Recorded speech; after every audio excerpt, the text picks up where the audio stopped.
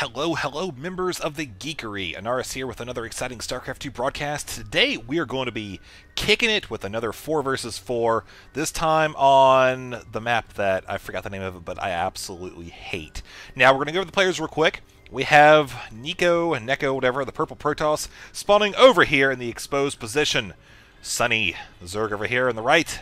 We have S. Brugby, SB Rugby, maybe Strong Bad Rugby, I don't know. That would certainly be a thing to see. And also Zrytex, Zrytex, whatever, against Huskies, Problem Sir, Spanishiwa, and Alpha Baby. So we have another 4 versus 4.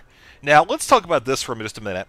Because I know, from my perspective, I hate this map.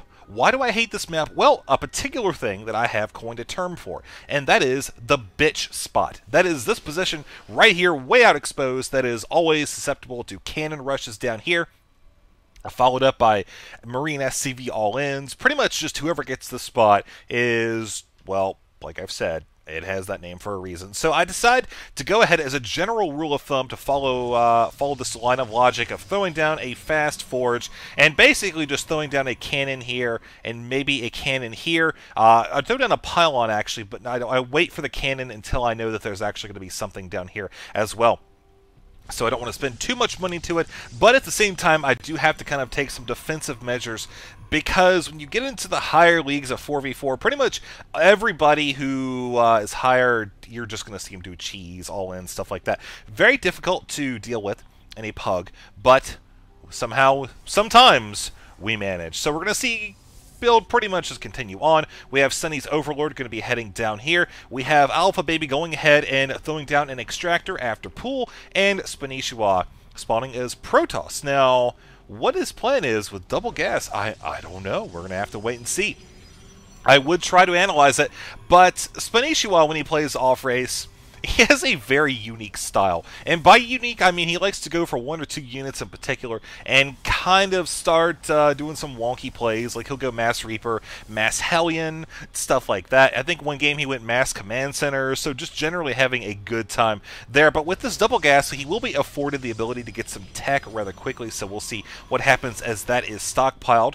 Meanwhile, cannon's going down, one gateway as well. You see I've completely walled off. Again, I knew that we were facing up against double Zerg, so I figured Mass Ling all in early. That's something that we have to be worried about.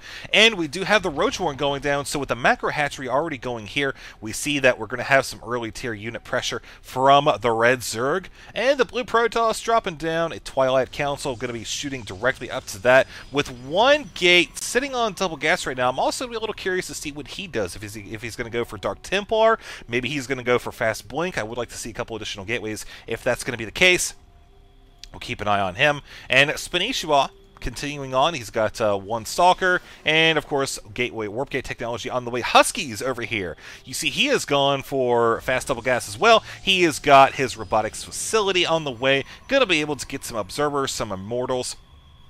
That is a unit that he has fallen in love with lately. Oh, so dear to his heart. The Immortal, I mean, hey, it rips up armored units like there's no tomorrow, so always an enjoyable thing to see. And we do have a couple Zerglings out here trying to chase away the uh, the probe. Wait. Oh, okay, that was, was... Wait, is that Alpha Baby's probe chasing... Spin what? What is going on here? This is not supposed to be happening. I feel like that was actually illegal, not allowed to be on TV, and against some regulations. I don't know. But we do have one Zergling coming down here from Sunny, going to be scouting out the Natural Sea. Okay, no expansion just yet.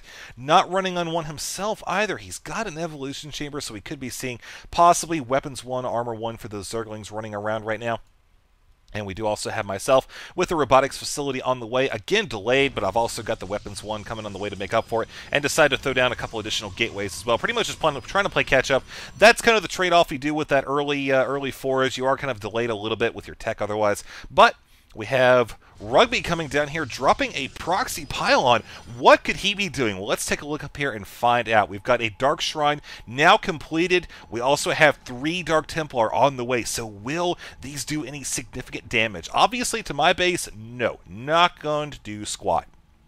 He's going to have to bust his way through a pylon, and you see that actually he tried to come up here. I think he just 1-8 his way, and he got stuck on the ledge. But Husky spots that pylon as he does take that expansion, is able to quickly dispatch of that. I don't know if he saw the actual Dark Templar, though. I do also want to point out there's another proxy pylon going down here. Now, uh-oh, Spanishiwa does not have any detection. I do believe that I send down an observer here fairly soon and take care of that without too many problems. Yep, there it goes right there as soon as it pops. And Blink is about 50% complete, so we're going to see that from Spanishiwa, trying to keep his probes out of harm's way. The poor probes that are running around trying to get gas, holding on for dear life, not going to be able to uh, to live for very long as this Dark Templar continues its harassment. Don't think we have anything going on up here.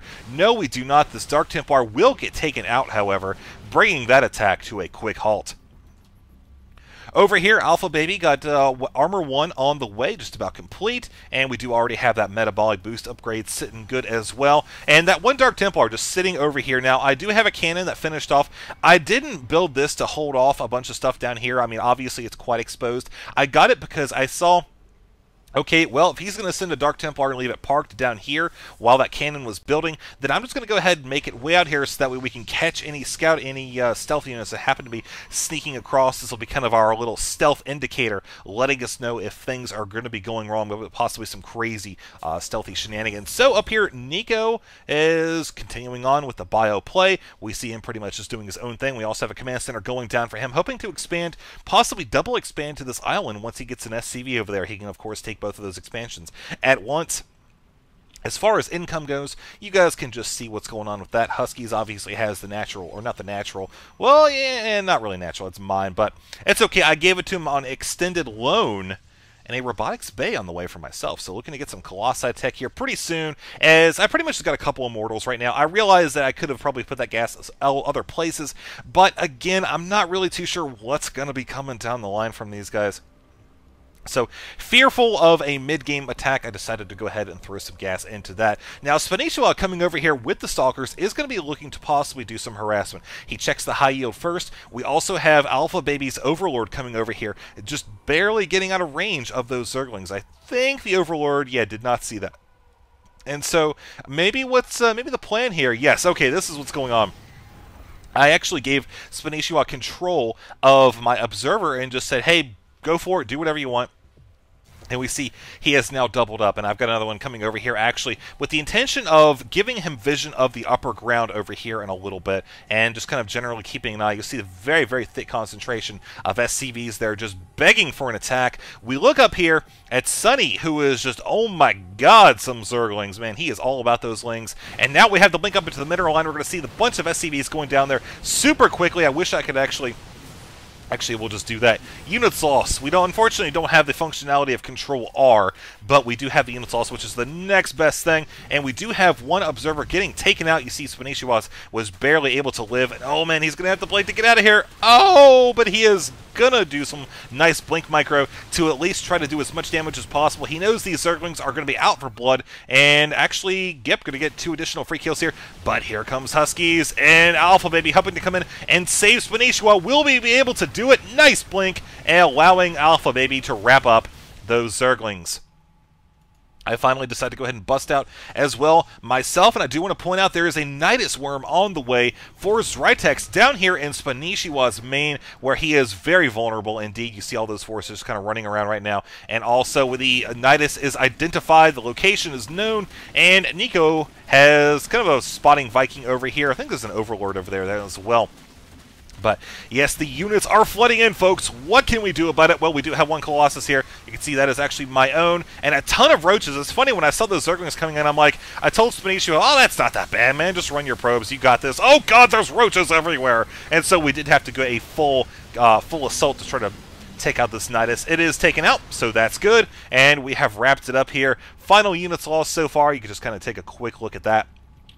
And now back to the income tab, where you see I do have an expansion on the way. Just started that a little bit ago. It is very much delayed. I've tried to kind of basically just get out a whole bunch of stuff, trying to make up for the fact that I was kind of contained there for a while. I'm still really worried about an attack here. Again, that's just the mentality that I have when you're in the bitch spot. But you see, I've got plenty of probes ready to transfer down whenever they are needed, and I am going to be taking out uh, maybe this pylon here as well. Yes, that is going to go down here very soon. You see, I've still got my immortals alive, so they're just going to rip through that pylon, and now Spanishiwa coming over here. He does have vision of the high ground once again, but there are Zealots and Archons coming down here looking to counterattack. You see the SCVs were actually pulled way over here. And now the Terran is looking to come and try to defend as well. The Medivacs maybe, may be healing up the Zealots. Yes, indeed, I do believe that is the case. Spanishiwa forced to run far, far away, not able to defend against all of these forces. I mean, even the Zerglings coming in here. You see, they are two and one. The Zerg player now finally has a couple drones starting to work on that, so his expansion is going to be good. He's going to have to get some units in the gas as well. And here we go, folks. Another Nydus Worm, this time coming into Husky's mineral line. There is one cannon, so that is going to draw the aggro of those Zerglings, and basically basically, Husky is going to try to live for as long as possible by bringing his probes and trying to sandwich around the photon cannon, which works to an extent, but only delays the inevitable here, so we're going to see those probes start to die. But Oh no, Husky's Colossus is going to get taken down. It's really the only unit that he has at this point. But the loss of that Colossus will buy his units enough time to get out and basically allow his income to continue once this goes through. So really, the loss of the Colossus is not going to be that big of a deal. He was trying to delay this this right here for as long as possible. We're going to see that go down. This Nydus play, very annoying, man. But look at this down here. We have another attack from Spanishiwa blinking up here, taking out the command center. I believe, yeah, it actually killed it. And here comes a delayed response from the uh, from the blue player. You're going to see Rugby come in and try to hold this off, but I mean, Spanishiwa is only a blink away from safety, so that's not going to be too much of a problem. Do want to point out that Overlord is still alive down here, so you're seeing there that Overseer. So you're going to see that continue to harass. Spanishiwa, I think a few Stalkers got left back up there, could not blink out quickly enough. But we do decide to come up here and give a little bit of support. Alpha Baby tried to finish finish off any Zerglings that he can find, but you could see, yes indeed, now Sunning to Ring directly into the Roaches, going to be taking those out. Boom, one-in-one upgrades. They were able to easily hold off that Zergling attack, or at least what's left of it. So now, units lost to this crazy game so far. Just kind of take a look at that and see. Uh, Spanishiwa has lost lost a lot of resources, basically, that had to do with the attack in his main, but more importantly, a lot of Stalkers with those Zerglings getting the surround as well.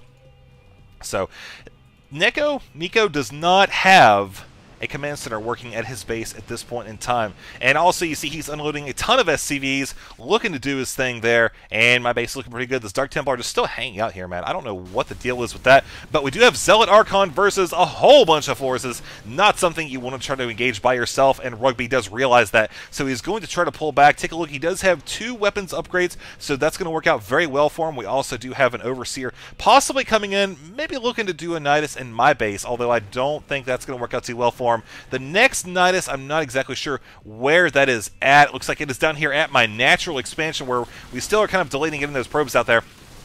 But uh, I'm more focused pretty much right now on trying to make sure that we don't die a horrible death. My units are on the front line, so we're trying to basically watch out for these zealots, get these colossi back, and throw down some force fields. You'll see those archons busting those down very quickly. We decided to just go ahead and lose this expansion, letting it go, not even going to try to defend it. Spanishiwa is going to maybe do a little bit of damage, basically delay the attack down here into the next one. But we are going to make some great advances here up on the front lines where the Archons are getting taken out. And finally, all that's left are just a few Marines, Marauders, Medivacs, and of course, we do have our Giant Roach, the, the our Giant Roach army, which is going to be tanking lots of damage for both Huskies and myself as we basically have all of the support units here. We also have Spanishiwa taking that high yield expansion, and we are finally going to be pushing the advance towards the main base of who are we going for here? We're going for SB Rugby.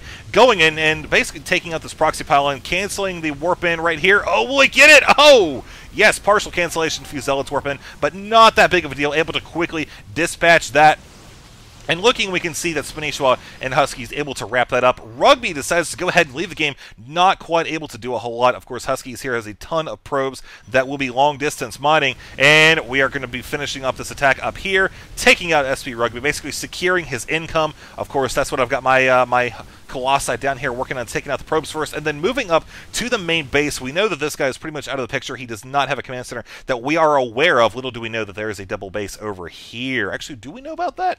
No, no. Actually, we we do not. That is incredible. Actually. But uh, plenty of Ultras have come over here for Sunny, which is an interesting choice considering the fact that we do have a considerable amount of Immortals as well. We do also have the Colossi, and here comes Spanishiwa plus Alpha, baby. You see the Roaches are going to be tanking those once again, doing a great job with that. Spanishiwa rolling up the support, and I think we ping down here because we see a Nydus Worm like literally right next to this expansion, but the ballsiest Nydus I have ever seen. Just busting up through here, going to get taken out in a matter of two seconds. One, and boom. Couple Stalkers should be able to mop that up very quickly as we continue our advance into Sunny's base. Where we see Zerglings coming in, trying to mount basically one final defense. Some nice micro there. We'll see him blinking back for Spanish while trying to get up here, do some damage as soon as possible. Way saturated here on this drone line, man. To tell you what, he is just looking to really gather the minerals as quickly as possible. But we do have play players leaving the game, so that is going to be a GG from the Purple Terran, and basically bringing this game to a halt. So that's going to be it for this 4v4, guys. I got a couple more. Actually, I think I have a couple from us, uh, Husky, Sci Starcraft, and myself playing with. I think we just went with a pug for that time, but I'll see if I can find some of those games as well as bring some more 1v1s. I just thought these 4v4s were kind of fun casual uh, you know deviations from the normal higher level style of game that we watch so again thank you for watching it if you like it please thumbs it up again that's only if you like it i mean if you didn't leave me a comment and let me know why 4v4s are a little bit hard to analyze sometimes, so kind of keep that in mind. A lot of going on, and that's pretty much all I got. If you like the if you like the stuff, make sure you subscribe. See you next video.